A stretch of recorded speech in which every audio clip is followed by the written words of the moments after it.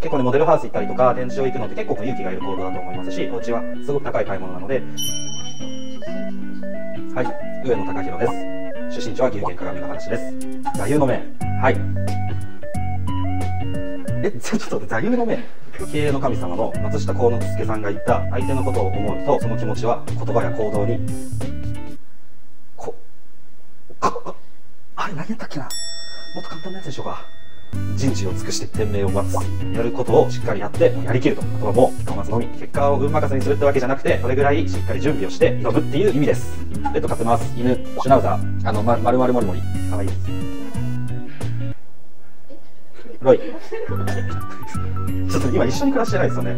そうそう子供の犬アレルギーの関係で。最近ハマっていることはドラマ「最高の教師」めちゃくちゃいい話です。他にも。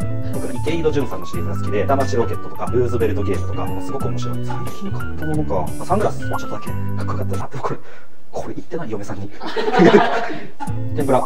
余裕です。エビとか舞茸とか。一番好きなのはレンコン丸亀製麺とかで絶対食べてます。